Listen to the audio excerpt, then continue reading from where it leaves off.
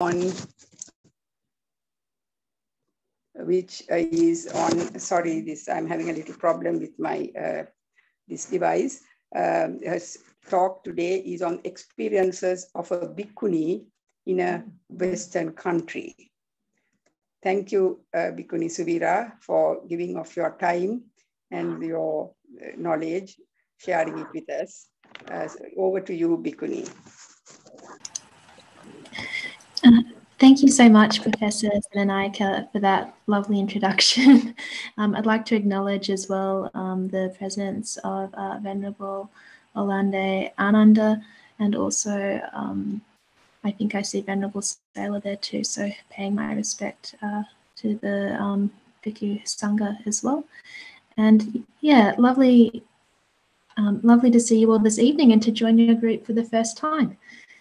So what I wanted to share this evening um, is I just have um, a short PowerPoint about some of my experiences um, as a bhikkhuni in Australia around living in Sydney. Um, it's, it's not like super scientific. It's just, you know, these are some of the things that I thought would be interesting to share about my day-to-day life. Um, so what I'll do, I'll get the PowerPoint up and we can move to the slides.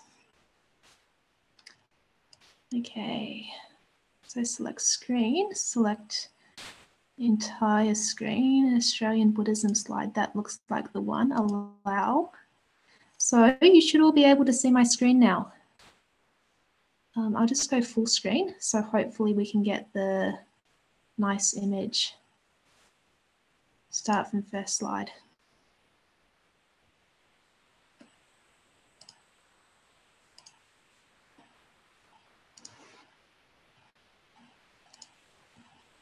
Okay, and it doesn't, oh, maybe it will, maybe it will.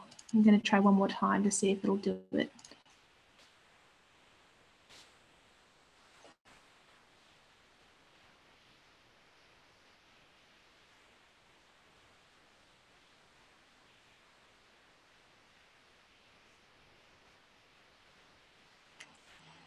Okay, so um, I wanted to share this picture because this picture actually comes from a local park near um, where I live in Sydney.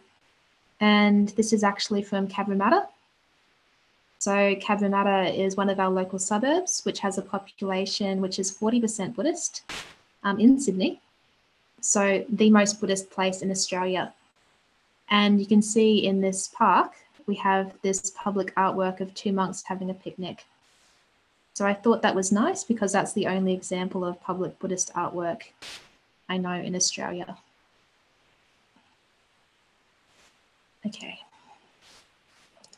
So I'll just keep moving through the slides because I wanted to talk a little bit first about religion in Australia as a whole, um, just to give some background, you know, to how do we how do we situate Buddhism in Australia um, before I can even start really talking about what does it mean to be a bhikkhuni in Australia. Um, so first of all, um, Australia is a liberal democracy, um, which does not have a state religion. And actually, the Australian Constitution explicitly forbids, you know, setting up a state religion. So already Australia is quite um, different from Sri Lanka in that sense. I understand Sri Lanka, you know, the constitution there, um, it outlines Buddhism as being, um, you know, something that um, the state has a role in protecting. So Christianity is the dominant religion in Australia at 52% overall. So slight, you know, it just tips 50% as being the majority. However, in the territories, um, so Australia has a number of territories like the Australian Capital Territory and the Northern Territory. Um, Christianity is actually under the 50% mark. So, you know, in the 40%. So there are regions of Australia where Christianity doesn't quite make the majority. And we can see some massive um, social changes which have happened here um, in my country, which is Australia, because at the time of federation in 1901, Christianity had actually made up 96% of the population. So all major um, Christian denominations in Australia have undergone, um, you know, very massive reductions in affiliation over the past century or so. Um, you know, and why is that? You know, basically it's um, loss of belief. You know, there's been um, a lot of major um, social changes, changing around understanding of science, issues like evolution, um, you know, which have really shaken um, basically the degree to which people actually believe in, in Christianity. So, you know, that's something which is worth remarking on when we think about what is what religion in Australia actually is. Um, so religion is not actually that important in Australian life as a whole, with only 33% of people saying that religion is important to them. Um, again, this is, you know, quite different to Sri Lanka. From memory, I think, you know, the equivalent statistics for Sri Lanka would be in the high 90s. Um, so, you know, what I've seen, at least um, from what's been written, is that um, this is a major difference between Australia and, um, you know, the Theravada countries in Asia. Um, some studies have ranked Australian youth as the least religious in the world. So, you know, just giving you a picture of um, the general vibe. Um, however, religious organisations play a big role in public life via schools, hospitals, and other programs. One quarter of all Australian students are in church affiliated schools, and many students in state schools receive religious instruction at school. Um, so we have something called Right to Access Religious Education, whereby, um, you know, in government schools, there's half an hour allocated weekly for external groups to come in and teach religious instruction, which in many states now includes Buddhism.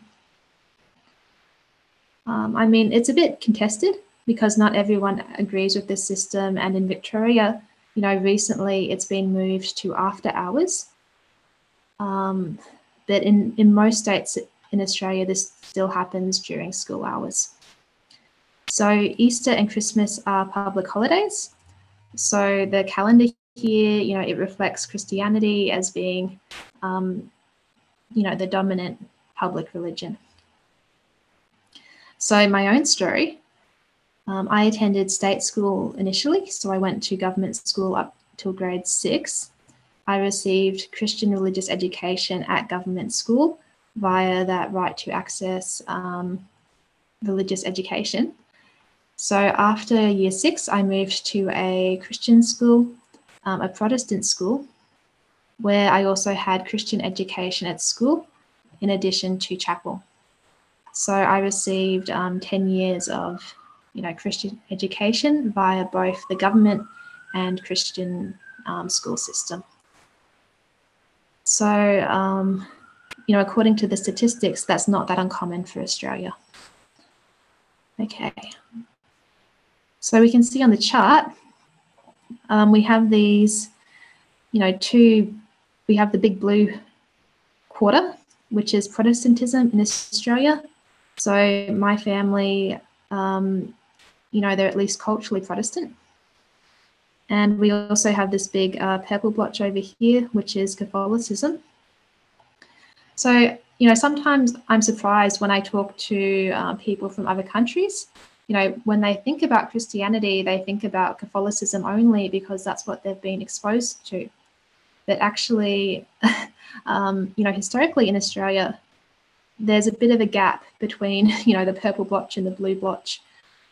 Um, you know we have um, both Protestant schools and Catholic schools here, so these you know these two things, um, the difference is quite noticeable. Uh, excuse me, the slides, they... slides are not moving. I don't know whether. Oh, the slides aren't moving. That's that's no good. Okay, so I don't know why um, I don't know why that's happening. I'm just going to have a look at the screen sharing. Um,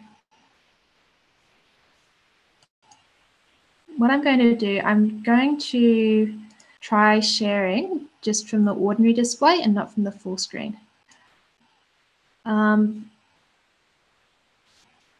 but what I was going to say now, is that now it's moving. Now it should now it should display. Okay. What I was going to say is that you know historically there have been like low scale tensions between these two groups in Australia. But what's happened over time is you know there's been an ecumenical movement or you know a, a broader pan-Christian movement. And I think these days the you know it doesn't matter so much in the cities at least whether you're Catholic or Protestant. But in the past, this was actually a significant social division in Australia um, like in the 60s and stuff. Um, and you, you see like a few other of the slices on the chart. We have quite a number of minority religions in Australia. So um, Buddhism used to be Australia's second largest religion. Um, since 2016, um, that role has been filled by Islam. So Buddhism is now Australia's third largest religion. Um, so you can see, according to the chart, Buddhism makes up 2.4% of the Australian population. Um, however, this is overall. In some urban suburbs, um, the Buddhist percentage is higher, so um, you know above five to 10%. So that doesn't mean you know that everywhere is just 2.4% Buddhist. Um, you know, there's some places with more Buddhists, like in the cities, and as you go further inland, the numbers drop off um, typically. And, you know, we also see some other significant minority religions like Hinduism. Um, you know, Sikhism isn't on the chart, but, um, you know, there are, we have basically everything here, um, you know, most religions. Um, so migration from Asia is primarily responsible um, for the growth of Buddhism in Australia um, especially from the 1970s onwards. Um, but you know, there's also some conversion that I'll talk a little bit more about later. And I think actually, you know, I, I didn't really do this chart justice because, um, you know, if we have a look at this huge white section, the no religion and not stated um, is actually making up this huge chunk of the chart. So um, lack of belief is a significant phenomena in Australia. Um, are we all good? Was someone trying to say something? No. Okay, I'll keep I'll keep moving. Go on. Um, so it's actually it's really difficult to find accurate statistics on conversion to Buddhism in Australia. So some estimates have suggested that converts to Buddhism represent 10% of all Australian Buddhists. Um, if this is correct, there would be about 37,000 converts to Buddhism in Australia. Um, I don't know if you know about paganism, but that's about the same number as the number of pagans. Um, so given the general trends in this area, um, I personally think this is about correct. Um, that, you know, we can of a total Buddhist population of about 370,000, that um, between 10 and 20% of them, you know, they, they didn't originally come from Buddhist backgrounds. Um, so converts from European and other backgrounds contributed to the first wave of Buddhist organizations in Australia from about the 1950s. Um, there had been, you know, there'd been Buddhists in Australia since the 1850s, um, since the Chinese gold rush, etc um, that the first wave of institution building really dates from the 1950s onwards. And you know, there'd been Sri Lankans in Australia earlier than that too. Um, in Queensland, I think there may have even been a Bodhi tree that was planted, um, you know, quite early on. That we don't have any institutions that really remain from that period. Um, so the first wave of organisations have state-based names, which include the words Buddhist Society so we have a very famous, um, you know, Buddhist organisation in Australia, which is the Buddhist Society of Western Australia. Um, and you know, from the name, it tells us that um, this is a, this is a society that was founded quite early, and the same for the Buddhist Society of Victoria. You know, these um, organisations, they, um, you know, they were um, established by both um, migrant Buddhists and new Buddhists who were looking to um, find a way to institutionalize Buddhism in Australia. And I've just, you know, I should have done my slides a little bit better because, um, you know, this is on my conversion to Buddhism in Australia slide, but also migrants were quite important in those um, early organizations. Um, you know, the ones that were bringing monks from Asia and introducing them to Buddhists locally. Um, but if you look at the photos from this period, you know, quite often the photos will be people wearing suits, and you know, um, quite often there'll be, um, you know, you'll see more Europeans in the photos because this was really before the, like the big migration um, to Australia really started opening up. Um, so I'll keep moving. So all three Buddhist traditions are found in Australia. There's uh, no absolute majority tradition. So we have everything here. Um, we have Theravada, we have Mahayana, we have Vajrayana. So the whole um, smorgasbord, which is good because, you know, it's like you don't need to travel. Um, the whole Buddhist world is literally here. Um, we also have at present a number of umbrella organisations like the Federation of Australian Buddhist Councils, the Australian Sangha Association, as well as Buddhist State Councils, the membership of which is voluntary. And these organisations um, take up particular issues, um, for example, visa issues, and sometimes negotiate with the government um, to try to make sure Buddhists are represented. Um, and another point of difference between Buddhism in Australia and, say, Sri Lanka is that the overall monastic population in Australia is quite low and, you know, only a few hundred maximum. So that's a, um, you know, that's a substantial point of difference because the scale of the you know, of the monastic population is just um, so tiny here um, compared to anything in a Theravada country. And I just had this picture as well too, because um, I should have actually had a dedicated slide, you know, on migration. But this picture comes from my hometown, which is Brisbane, and just commenting on some of the impacts of migration on Australian Buddhism. So obviously, um, you know, after the Vietnam War, um, Australian, Australia took in a lot of uh, refugees from Vietnam. Um, and also from countries like um, Laos and Cambodia, which had their own internal um, conflicts. Um, and, you know, later from Sri Lanka too, we have very large overseas Sri Lankan populations in Australia. So um, Melbourne having the largest Sri Lankan population outside of Sri Lanka. So um, in the photo, you can see um, something very, very Australian, very Australian Buddhist, which is um, the Sri Lankan temple from my hometown, which is Lankaramaya, and the Kwan Am statue um, at the temple, which was given by the Vietnamese community. So um, just showing you know, how we have multiple ethnic communities here. Um, sometimes, you know, cooperating with each other, sometimes later getting their own organizations.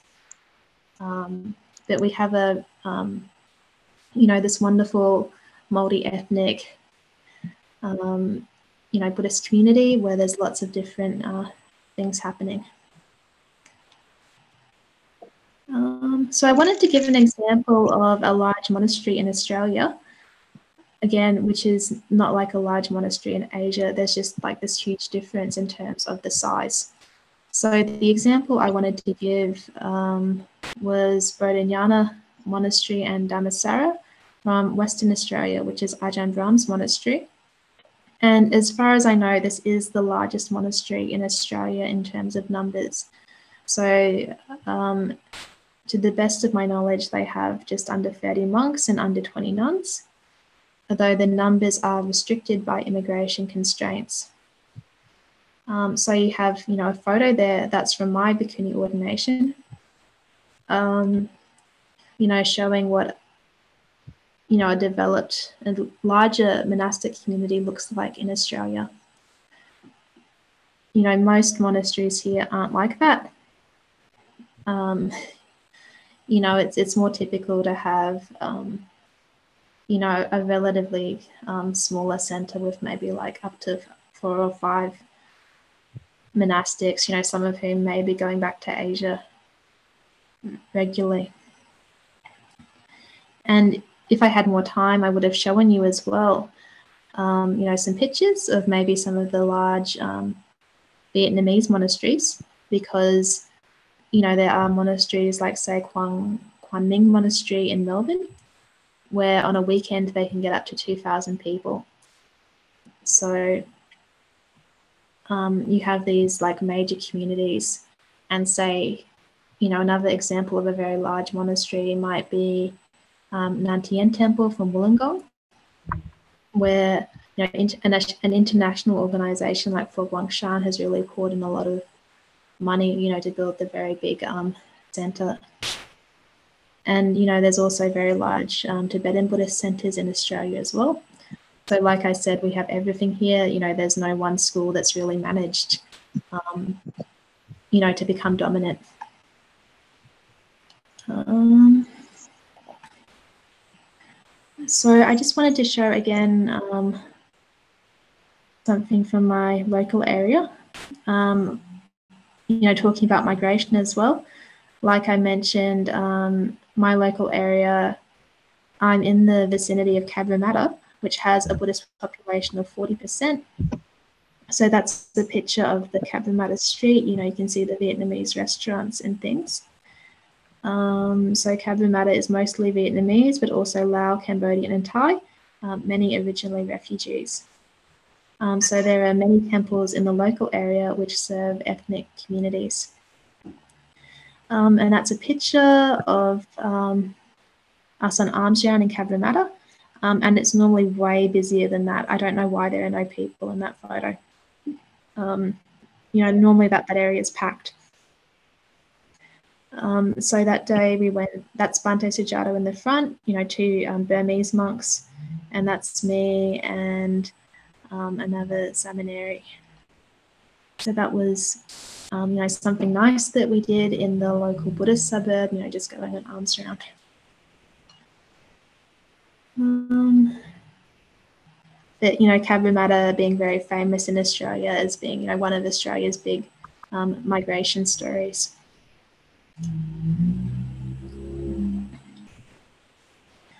Okay, so you can see that this is the Sydney map about like where Buddhists actually live in Sydney. So you can see these darker areas, um, Cabramatta being the Vietnamese hub, around that having like these Lao Cambodian kind of centers as well.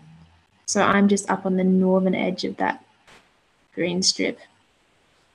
Um, my exact suburb is actually an Iraqi and Assyrian enclave. Um, so the people I live around, I, I, live slightly to the north, and they're mostly Middle Eastern Christian. And you know, there's various reasons why they've chosen to leave the Middle East. You know, some left um, because, you know, of the uh, like religious discrimination, or because of, um, um you know, persecution or things like that. So in my local area, um, most people don't speak English at home. Languages spoken include um, Assyrian, Arabic, and Vietnamese. So, um, you know, that's that's where I live. I, I live um, in this lovely little Middle Eastern place. But I find it a little bit of a barrier sometimes because, um, you know, I, I just don't speak Arabic, and um, you know, that's about the end of the story. If there's, you know, sometimes people have like kids or like if they're traveling in a group, sometimes there'll be one person in the group who can speak better English and can help interpret for me. Um, but, you know, it is a bit of a barrier to actually engaging people. Um, yeah, so like on, when I first came here, I didn't know what language people spoke. And I actually, I struggled a little because I didn't know any Vietnamese either. And I actually had to get one of our supporters to write me out um, this little note sheet with all of these Vietnamese phrases. So my note sheet said, you know, my name is Ayya Suvira. I'm from Metarama in Vietnamese. Um, you know, my monastery has a Vietnamese name as well. Um, and you know, I had to explain to them, you know, I, I take I take food, I, I don't take money. And now that I have my little cheat sheet, um, things have gotten a lot easier because I can explain, you know, to the to the elderly people, um, you know, what I'm doing, um, why my arms down, what my name is. So um, um,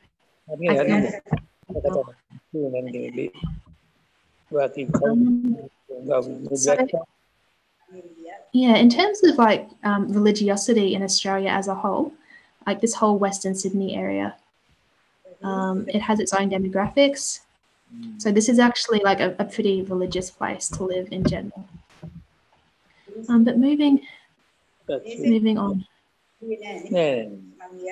So um, in terms of where I live, I live at a place called Metarama, which is a Buddhist nuns monastery in Western Sydney, which was established in 2018 to meet the growing needs of bhikkhunis in Sydney. Um, you know, it's currently in the process of incorporation with an expanding support base in the local community. Mm. Um, so it's a new place, but it's you know, hopefully moving forward. And I just wanted to share a little bit about the type of Buddhism that I um, was raised in, um, so to say. So, um, my teacher's teacher was Ajahn Chah, who was originally from the northeast of Thailand. So, um, Ajahn Brahm's teacher was Ajahn Chah. And indirectly, you know, also um, Bhante Sujato was um, ordained at Wat Pah Nanachat as well. So um, the way this has evolved in Australia, you know, it's a tradition that is based on the sutta and on the vinaya. So some of the distinctive characteristics include um, no money or personal property ownership. So there's an emphasis on meditation and seclusion over academia and social work.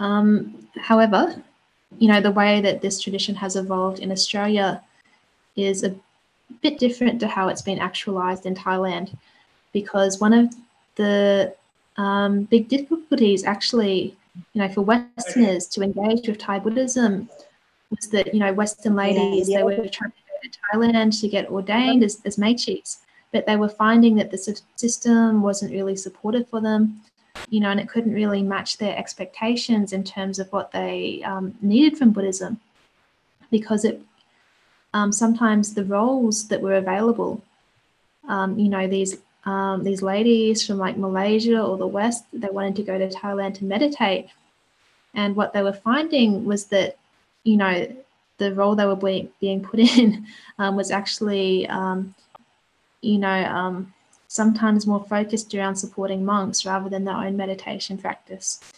And for whatever Sorry. reason, um, this northeastern region of Thailand, um, you know, it's never been known as a Maechi center. Most of the Maechi monasteries in Thailand are actually in the south. So, um, you know, this tradition has has really gone through an evolution, whereby um, you know, higher ordination has been made available. And now, um, you know, many Vinaya-based monasteries for bhikkhunis um, are in the West. So, you know, if you're looking for a place as a bhikkhuni where you, where you don't handle money and, you know, where you are keeping a more strictly Vinaya-based practice, um, you know, uh, there's a, um, a lot of options in, in Western countries. Um, so some of the basic characteristics of this tradition are itinerancy, so that's a fancy word that means wandering, and alms mendicancy. So, you know, sometimes um, when we think of what a monk is, like sometimes we may even use the word priest, you know, to indicate someone who's conducting the pujas at the temple, you know, someone who's a learned person. But actually, um, that doesn't necessarily capture what the word bhikkhu or bhikkhuni means because we have this term mendicancy, which means, you know, going for alms, uh, you know, um, not having a fixed residence, um, having a very simple life. Really? So what this Thai forest tradition was aiming to do was to capture some of those, you know, more original values. Um, you know, another feature of this um, forest tradition was that it has minimal rituals. So, you know, some people even they visit Wat Pah Nanachat in Thailand and they think, oh, this is like a summer camp. You know, it's not like a, a temple because it's not ornamental enough. So, a very uh, simple mode of life. So, because of some of the early Western monks who went to Thailand, um, this form of Buddhism has become quite popular in the West. So, that's um, for me, that was my entry gate into Buddhism. But because we also have substantial Sri Lankan migrant communities here, I've also had significant exposure, um, you know, to other types of international Buddhism and to the Sri Lankan community as well. Oh, um, so, you know, another feature of this tradition is the requirement of uh, what's called nissaya, or um, yeah, taking dependency, where you um, you know you commit to training under a teacher um, for a certain period of time before going wandering. So, yeah, so that's um, that's just something I wanted to share everybody to mute their mics, please, because it's disturbing Bhikkhuni. Please mute your mic. yeah, thank you so much. It is a little bit distracting, um, but that's okay. We'll, we'll keep going. okay. Um, so yeah, like nice picture of Ajahn Chah there. So, you know, we we do we have a tradition that you know came from Asia. Um, but some of the features of that tradition were very difficult to make work in the West. And I'd say for women in particular, um, this tradition didn't really offer a lot for them um, in its original form. Um, you know, and that was even true even in Thailand, um, just because of the particular characteristics of, you know, Northeast Thai culture. It's just never been a place that's been famous for nuns. Okay. Um, so a little bit about like what we do here at um, Metarama. So, um, you know, in my day, I do meditation, I do a little bit of monastery admin, um, teaching and planning programs. We have a monthly Uposatha day, aka Poya day, and Sutta discussion program. We have a Wesak public program.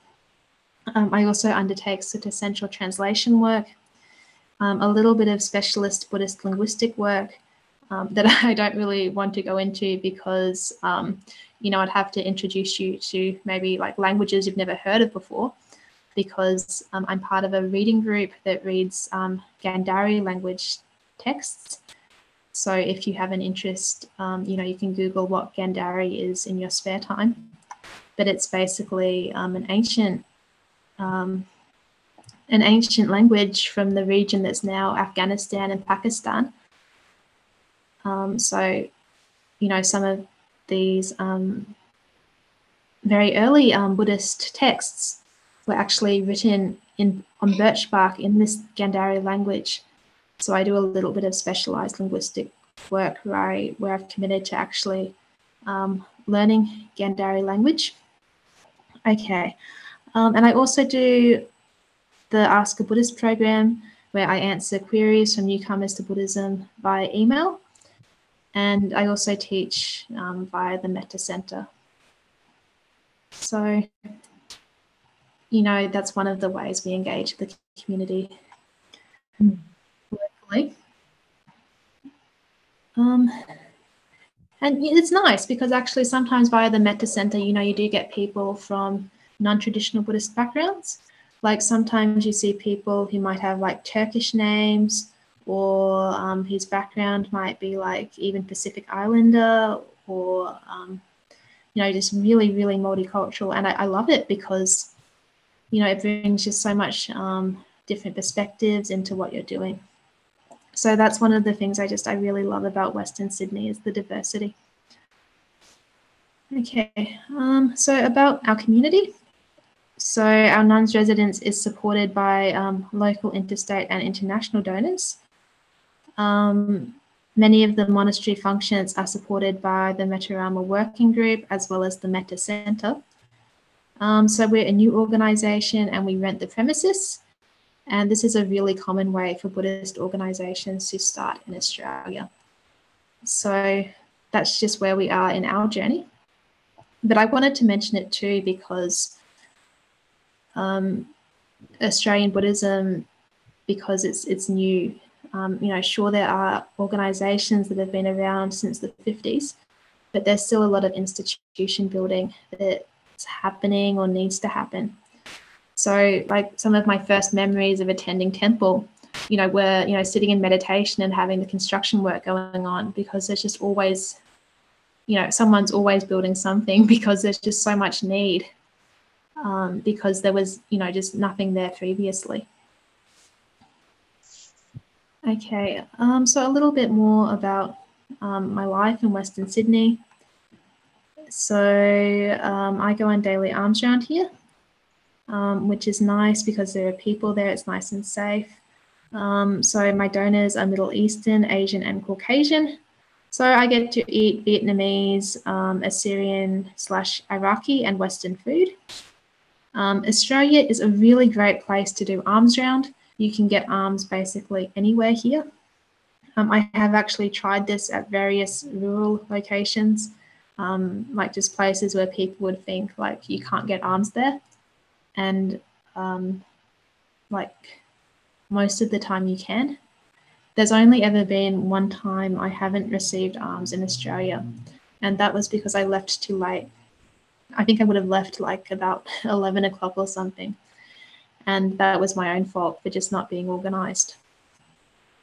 Um, but one of the differences here is that, you know, when you go on alms round here, quite often you get bread. Um, so, you know, if you're looking for rice, you have to really, you'd have to really go to the Thai restaurants or something. Um, you know, bread is my most common staple. And, you know, sometimes the Middle Eastern shop owners give me like falafel or things like these Middle Eastern dishes. Um, so just, you know, really on that basic level, um, obviously, you know, I live in the West, but I'm still a bhikkhuni. You know, I, I depend on my bowl and my robes to live, um, just like anyone else would. Um, but I mean, this is maybe this is a little bit typical for the Thai tradition as well, because Thailand has a relatively strong uh, Pindapata or alms round culture. And I'm not 100% certain on this, but I think the reason for that historically was that um, at a point in Thai history, it was actually compulsory for monks to go on Pindapata. So that may be why, um, you know, Thailand um, has preserved this custom relatively well. And, you know, part of that too may also be the influence of the Thai forest tradition um, in the West because my exposure has largely been to monks trained in that tradition. Um, you know, fast is quite a normal thing to um, to be going on alms round. So I have just some more pictures there from from Cabramatta. When I when I first came here, I did accept meals, but I found it was a little bit inconvenient because um, you know, we're just in the rented house. So people had to really come inside to do the meal offering. And by the time people came in, you know, we talked to them and do the chanting.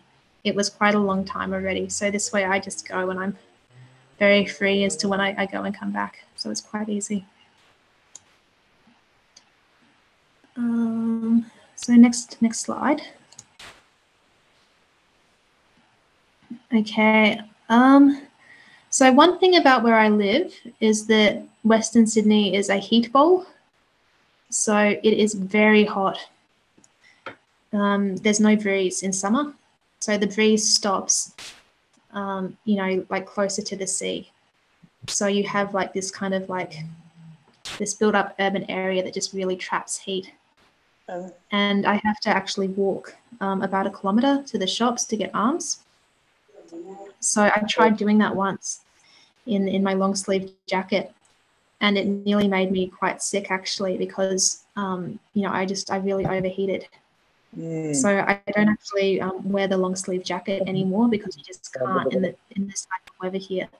Um, you know I have to wear the original style, which is much um, more convenient. So you know as monastics we rely just on um, for bhikkhunis on five robes And I couldn't find a like ready-made picture of the Bhikkhunis five robes, but you know this is just an example. The Bhikkhunis have two extra, which are the Sankacchika, which is the nun's uh, shoulder cover, which leaves the right hand shoulder exposed, and we also have um, a bathing cloth. So a few a few more pieces than the monks. And it may seem like a relatively trivial point, uh, but, but, when you actually have to live um, in a place that's as hot as Western Sydney, you know, if I had to actually wear a long sleeve blouse every day, um, I would actually make myself very sick. So I feel, you know, if I can explain this to as many people as possible, people will be more sympathetic to me to understand why I, um, why I live the way I live and you know, I also I, I did actually seek um, senior level Vinaya advice about that. So I do actually have permission from my Vinaya teacher. You know, just wear the original style. Um, so moving on. So some this is I'm um, getting towards the end of things. So I figure I'll talk through until um, 10 p.m. our time, and then um, give it back to um, Minoru but some things that I like about Buddhism in Australia. So I do like the presence of Vinaya-based and forest traditions in Australia because it um, means, you know, there's a lot of um, support there if you choose um, not to use money. So um, that's not the case everywhere, and especially not for nuns. So that's something I'm just um, incredibly grateful for. You know, um, like not everyone understands it because not everyone's been exposed to it yet but once people are exposed to it and they understand actually you know we have to give the money via the monastery account and not to the monk or nun personally um, normally they can understand quite quickly clean and safe road um, so another thing I, I like is that um, there are pathways for bhikkhunis to ordain locally now via Dhammasara. So if I if I would have had to have gone to Sri Lanka to ordain, that would have been quite inconvenient for me because you know I wouldn't have known the country, I wouldn't have known the food or the people. um, you know, as a as a you know, I'm a young person from the country. I wouldn't have known really um, how to manage visas or things like that. So the fact I could ordain um, in Australia was a really huge benefit because it meant I didn't have to negotiate any of that stuff. So in the past, you know, that's what people had to do. You know, if you wanted to ordain, you had to go to Asia. The way. Um, so. Money opportunity for bhikkhunis to ordain. Yeah. So um, again, if I could just ask people to mute.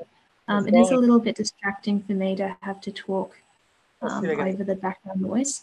So that would that would help me out.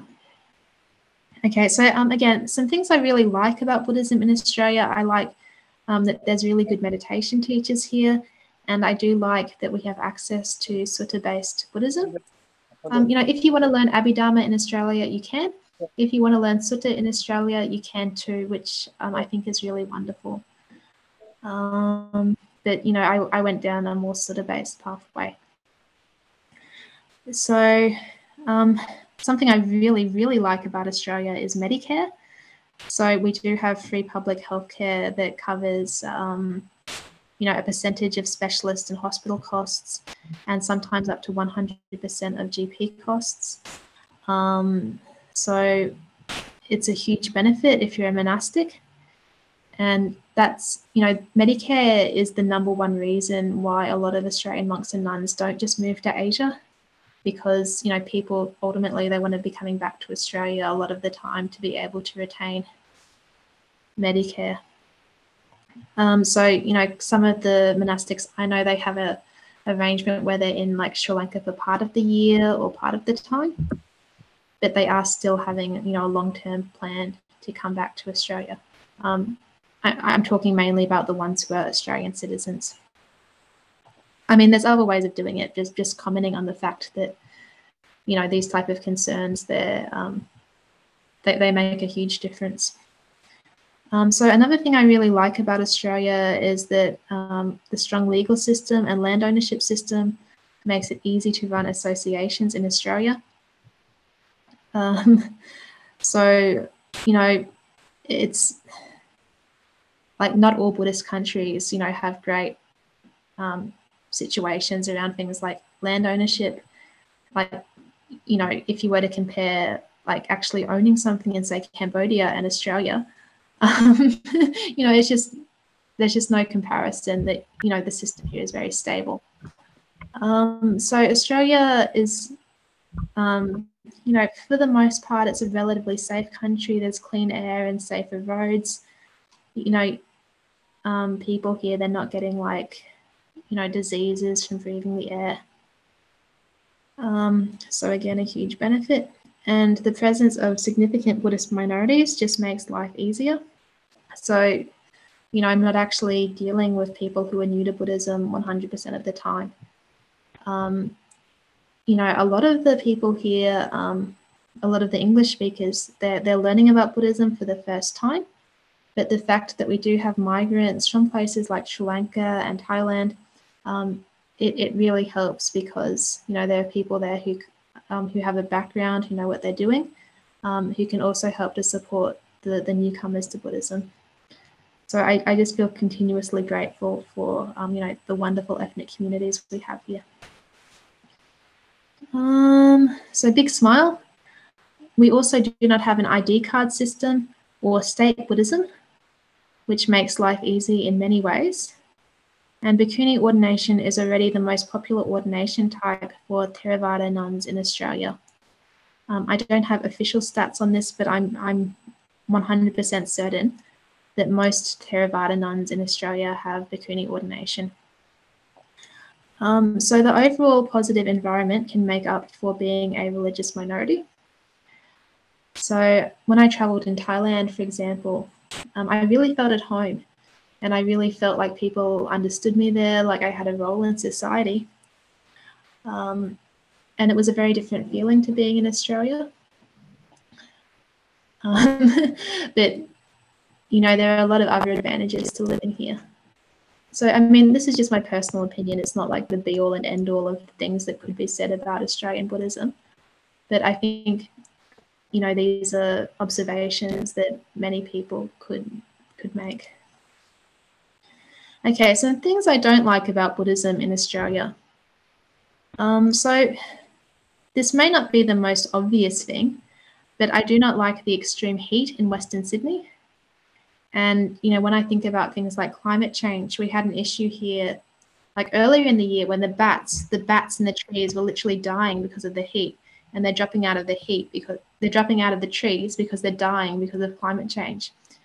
And you know, when you have that type of like just continuous heat, it makes it really um, hard to focus. So that's um, maybe that's not something I don't like about Buddhism in Australia. That's just something that makes life concerning in, in general. So another thing I don't like about Buddhism in Australia is um, inconsistent action or lack of action on improving conditions for nuns. Um, many nuns still live in invisible housing arrangements outside of the monastery system, um, sometimes in menial or invisible roles. So, outside of the large monasteries, um, I understand we have similar um, issues to what might exist in Asia, where they're just, um, you know, there's not actually proper support systems for nuns. And sometimes, you know, monastery committees, they're not very um, active in trying to um, improve things. Because you know kind of sometimes there can be this habit or perception you know that the monks need the community support but the nuns just have to fend for themselves. So um, we have a couple of large nuns monasteries but outside of that um, things are still um, hit and miss. And you know sometimes even within the the mainstream organizations um, you know, it can be really quite inconsistent sometimes as to the type of, um, you know, support that's actually available there for nuns, particularly for the um, Theravada and Tibetan traditions. So another thing that's a bit um, problematic is relative underinvestment in nuns. Uh, you know, it is what it is. Just for whatever reason, um, you know, communities um, have focused on bringing the monks in and building the monks' monasteries, and there hasn't really necessarily been the same level of attention given um, to supporting nuns. Um, and you know this is outside of those um, the main big nuns monasteries. So monks brought in from overseas can sometimes bring biases from their home countries. So you know even though I might have monks here that I know locally and who I can work with, you know when um, when new monks come in from overseas, um, I don't necessarily have a pre-existing relationship with them, and you know I can work as hard as I uh, I can in the local community, but um, when people are coming in and out all the time, it makes it really hard to to build connections that you know would be more meaningful, and you know let me actually talk to people in the community. So that's just um, you know that is what it is. That's just something about um, the local environment. Um, you know, sometimes lack of English prevents some monastics from engaging the wider community you know, there's a lot of resources in the Australian Buddhist community, but not necessarily a lot of English. So, um, again, you know, being an English speaking monastic, um, it is, you know, um, you know, sometimes I end up picking up that work, which is fine. But, you know, if, if, um, if the monks and nuns don't speak English, what's going to happen is that the kids of all of the migrants, you know, their Sinhalese isn't going to be so good, their Thai isn't going to be so good, their Lao isn't going to be so good. Um, they're not going to actually be able to talk to the monks at the temple and, you know, to get a proper Buddhist education. So I'd say this is an, um, an ongoing issue as well. And another thing I don't really like about Buddhism in Australia um, is being a minority religion. This is just in general. So there's not really a widespread cultural understanding of Buddhism. Um, you know, a lot of Westerners have a positive impression of Buddhism, but you know, there are also negative impressions too, and it just um, it can be a little bit hit and miss sometimes. So um, that's very much you know compared to a place like Thailand where um, where you know everyone instantly understands um, who you are and what you're doing. I'm just using Thailand as an example because I've actually been to Thailand. I haven't been to Sri Lanka. Okay, so, so thinking about the future. So Theravada Bhikkhuni groups are currently undergoing rapid growth and the generally free environment in Australia and the ready availability of alms means that it is a good place for nuns to live, um, in my opinion. Um, as long as Buddhists themselves don't ruin the opportunity by forcing nuns into inappropriate and invisible roles, Australia can be a heaven for nuns. Um, so, you know, the best way to help nuns is really to support them directly materially and, you know, to also um, encourage nuns in more visible roles um, and that includes speaking roles where nuns, you know, get a chance to use their voice and to explain their own lives and own issues. Um, and I have a note there that invisibility equals death. Um, and this is just, for me personally, um, you know, I've seen a lot of nuns in, in roles where they do a lot of work, but they don't necessarily have a public community voice where they can explain, you know, actually, this is what I need um, this is my own experience of the community here. And, you know, there's this problem of invisibility. Um, it ties back into the lack of material support because, you know, when nuns are invisible, um, you know, their, their issues aren't raised and then not addressed. So on, ongoing community education is still needed to develop and protect strong local cultures in the face of international pressures and negative biases. So, you know, on the whole, um, local attitudes towards nuns um, are relatively positive. So I feel what we should be doing is actually protecting and nourishing our local cultures um, where we do have a very strong Bhikkhuni community. Um, so obviously, you know, it's the choice of individual organisations what path they want to go down. Um, that that's um, you know my own experience that we do have something that's quite um, wonderful here, and you know we should be um, you know we, we shouldn't be afraid of saying this is our community, this is how it works here. Um, you know we have um, you know we have a long history of actually supporting the bhikkhunis. So um, that's my presentation for today.